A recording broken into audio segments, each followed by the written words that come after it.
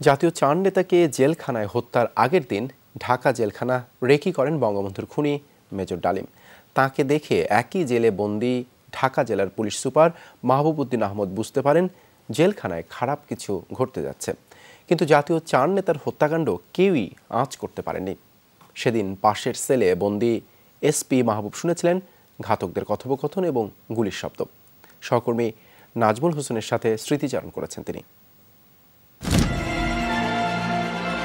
সপরিবারে বঙ্গবন্ধুকে হত্যার সপ্তাহ না পেরুতেই গ্রেফতার হন তৎকালীন উপরাষ্ট্রপতি সৈয়দ নজরুল ইসলাম, প্রধানমন্ত্রী এম মনসুর আলী, সাবেক অর্থমন্ত্রী তাজউদ্দিন আহমদ এবং সাবেক স্বরাষ্ট্রমন্ত্রী এ এইচ এম কামারুজ্জামান, যাদের প্রত্যেককেই মন্ত্রিসভায় যোগ দিতে বলেছিলেন বঙ্গবন্ধুর ঘাতক মোশতাক আহমেদ।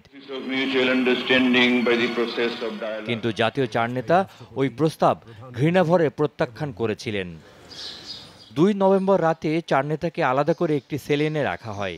কিন্তু সেই সেল তালাবদ্ধ করা হয়নি। রাত বারোটায় বাজানো হয় পাগলা ঘণ্টা। এরপর ঘাতকেরা অস্ত্রসহ জেলখানায় ঢুকতে চাইলে জেল ডিআইজি তাদের বাধা দেন। বঙ্গভবনে ফোন দিলে রাষ্ট্রপতি মোশতাক ঘাতকদের অস্ত্রসহ প্রবেশের অনুমতি দেয়। জাতীয় চার নেতার সেলের পাশেই আরেকটি সেল থেকে সে সময় সবকিছু শুনেছিলেন এই রাজবন্দি।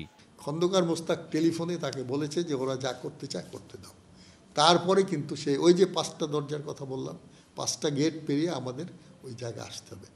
অনেকগুলো বাস ফায়ার করে মোটামুটি যারা যে অবস্থা ছিল সেই অবস্থায় মৃত্যু হয়েছে এটা ভেবে তারা চলে যায়। কিন্তু যখন তারা গুলি করে তখন তাজউদ্দিন সাহেব বলে এই তোমরা কি করছ?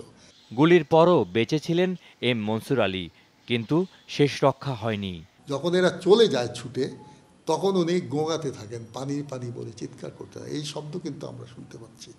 এবং এই শব্দ শোনার পরে ওইখানে যে কারারক্ষীরা ছিল, তারা আবার দৌড়ে চলে যায় সেই গেটের কাছে। গেটের কাছে গিয়ে ওই যারা এসেছিল, তাদেরকে খবর দেয় যে এরকম লোক কিন্তু সবাই মারা যায়নি। তখন ওই লোকগুলো আবার দৌড়ে ডবল মার্চ করে আসে। ডবল মার্চ করে এসে তারা ওই যে মানুষগুলোকে আহত নিহত করেছিল তাদের উপরে ব্যায়ামের চার্জ করে। এবং ব্যায়ামের চার্জের যে শব্দ ঘ্যাচাং ঘ্যাচাং শব্দ এটা আমরা শুনতে পাই।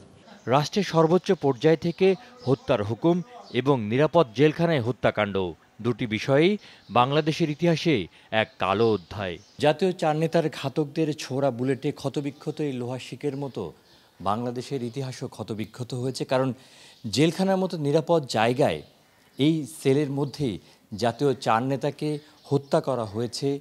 এমন একটি সময়ে তার একাশি দিন আগেই বাঙালির জাতির পিতা বঙ্গবন্ধুকে হত্যা করা হয়েছিল সপরিবারে।